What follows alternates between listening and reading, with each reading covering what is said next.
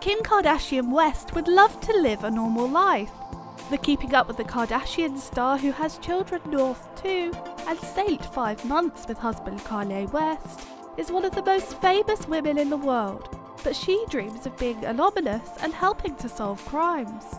She said, I would love to be a forensics investigator and live a normal life.